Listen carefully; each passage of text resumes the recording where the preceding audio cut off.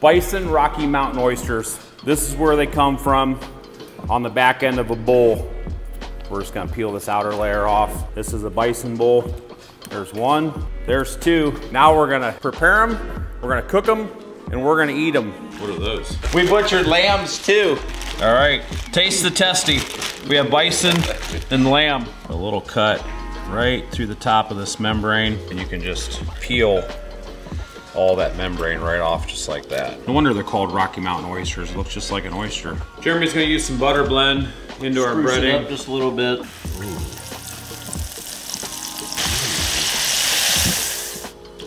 Excellent, told ya. That's a mushroom. Yeah. Significantly better than raw. Oh, you guys are going for the lamb. Not as good, but just still not bad. Wait, Where you define it's good?